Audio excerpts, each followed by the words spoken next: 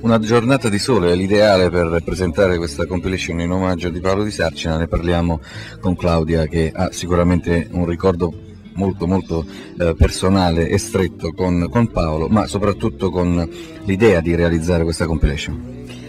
Buongiorno a tutti. Sì, in effetti questo- questa idea è nata quattro anni fa.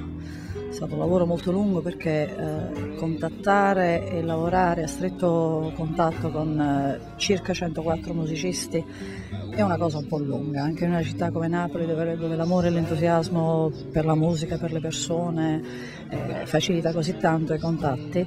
Eh, però è stata un'opera paziente di cucitura di questi rapporti, di questi pezzi, di queste storie che abbiamo raccolto in questo disco, in omaggio di Paolo, ma soprattutto in, ehm, in aiuto, se possibile, se ci riusciremo, a- alla paziente lotta che l'ospedale San Gennaro porta avanti a sostegno dei malati di leucemia.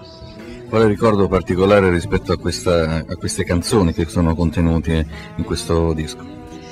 Bah, ti potrei dire che ho 20 ricordi particolari, visto che ci sono 20 pezzi in questo disco. Eh, quella a cui sono in assoluto più affezionata è l'ultima del, del disco, che è cantata proprio da Paolo, eh, perché era una canzone che da quando avevamo rispettivamente 14 e 17 anni lui mi cantava ogni volta che imbracciava una chitarra. È interessante scoprire che c'è ancora un discografico che è sensibile a certi argomenti come eh, Ninni Pascale che eh, insomma si è dato anche lui da fare in questa direzione.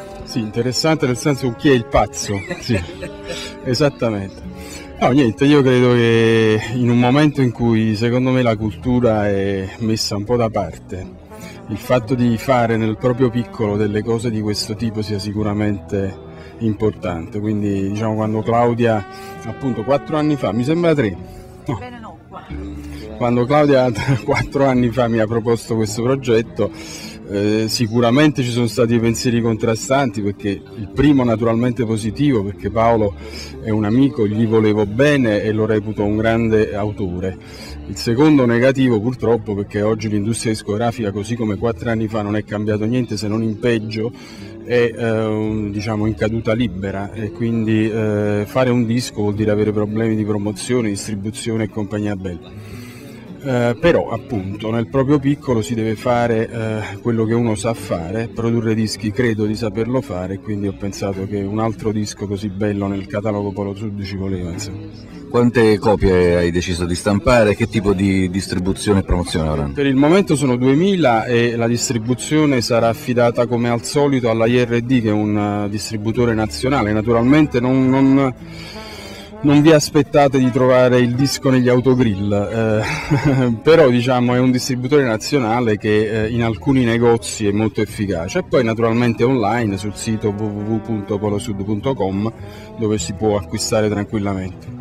No More Rainy Days e noi siamo qui a ricordare con tanto affetto Paolo Di Sarcina. Grazie a voi.